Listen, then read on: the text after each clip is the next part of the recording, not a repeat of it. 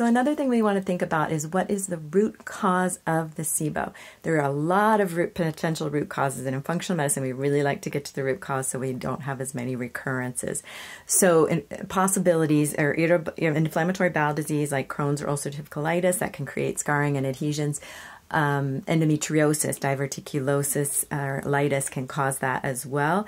And then if you've had abdominal surgeries, that can cause SIBO. Ehlers-Danlos and Parkinson's can also contribute to SIBO via decreased motility, movement of the food through the gut. Hypothyroidism, diabetes can contribute to SIBO.